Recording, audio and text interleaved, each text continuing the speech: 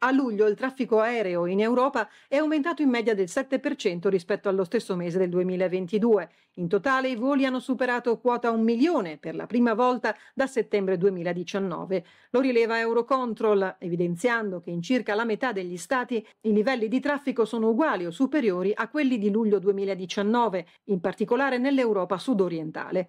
Tuttavia, a luglio il vecchio continente ha vissuto condizioni meteo estreme e il ritardo nella gestione del flusso del traffico aereo legato al maltempo è stato di oltre due volte e mezzo rispetto al 2022. Il maggiore impatto è stato registrato in Germania, Ungheria e Serbia. Negli aeroporti i maggiori ritardi legati alle condizioni meteo si sono verificati a Francoforte, Gatwick e Monaco. Senza l'elemento maltempo i ritardi si sono ridotti di quasi un quarto, fino a due minuti e mezzo per volo, nonostante la crescita del traffico.